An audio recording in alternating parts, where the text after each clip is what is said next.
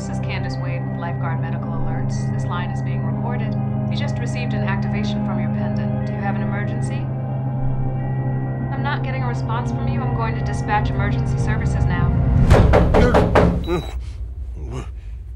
White Plains Police. We're here for a welfare check. Open this door! You're not coming into my home!